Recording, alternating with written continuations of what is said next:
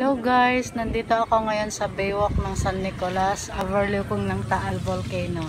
Ayan po siya guys, hindi siya masyadong nakikita. Pero may kaunting steam pa rin siya. Pero okay na siya, pinabalik na nga yung mga lumikas dun sa may part ng Laurel sa Kabuso-Buso. Okay na daw. Ayan siya guys. No. Masama din kasi ang panahon kaya ganyan cloudy at maulan.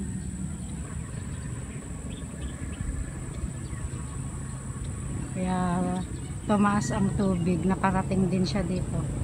Ayan, sa Pampang.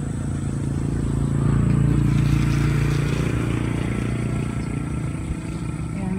Yung mga fishing boat nandito sila sa taas ngayon kasi laging umuulan hindi sila makapalaot ngayon.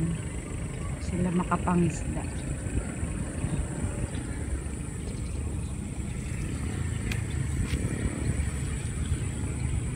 Ayan ang mga fishing cage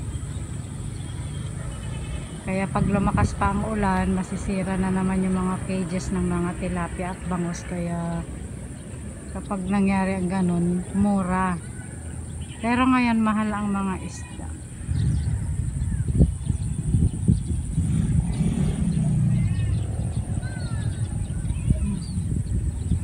sana laging okay na ang taal para naman